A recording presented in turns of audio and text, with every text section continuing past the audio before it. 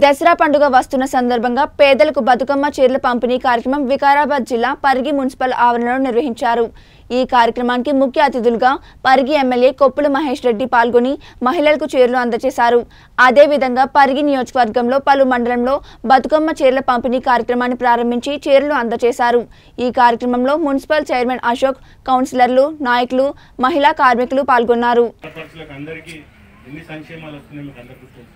ఇవాళ మన ఇంట్లో ప్రతి ఒక్కరికి కూడా అరవై ఐదేళ్ళు దాటిలో పింఛన్ వస్తుంది ఆడపిల్లల కరెంటు స్వచ్ఛమైన తాగునీరు ఇవాళ గర్భిణీ స్త్రీల కేసీఆర్ కిట్టు ఆ పిల్లలు పుడితే వాళ్ళకి పదమూడు వేలు మోపిల్లాడు పుడితే పన్నెండు వేలు ఇవాళ ఎన్నో కార్యక్రమాలు చెప్పుకుంటూ పోతే ఇవన్నీ కూడా తెచ్చుకోవాలి ఇవాళ ప్రజాప్రతినిధులతో అధికారులు కూడా తప్పకుండా ప్రజలకు వచ్చే సంక్షేమాలతో పాటు వాళ్ళకు అన్ని కూడా అందించే విధంగా మనం అందరం కూడా పనిచేయాలని కోరుకుంటూ మీకు అందరికీ దసరా సందర్భంగా దసరా శుభాకాంక్షలు తెలియజేస్తూ ఈ బట్టల పంపిణీ మరి ప్రతి డీలర్కు ద్వారా రేషన్ కార్డు ఉన్న వాళ్ళకి అందరూ కూడా వస్తుంది. తప్పకుండా ఒకరికి వెనక ముందు అనకుండా రేపటి నుంచి కూడా ప్రారంభిస్తాం. ఖచ్చితంగా మరి మున్సిపల్ కౌన్సిల్ ఉన్నటువంటి కౌన్సిలర్లు కూడా మీ మీ డీలర్లకు మరి డీలర్లు కూడా వాళ్ళకు ఇంటిమేట్ ఇచ్చి కౌన్సిలర్ ఆధ్వర్యంలో మరి బట్టల పంపిణీ చేయాలని అందరు కూడా విన్నవిస్తూ మీ అందరి దగ్గర సెలవు తీసుకుంటున్న. జై జై తెలంగాణ.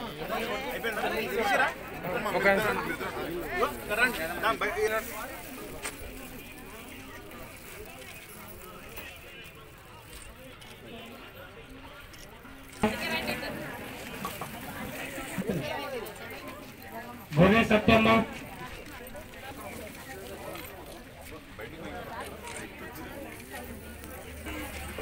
भुवनेश सत्यम्मा सम्मेलन प्रसाद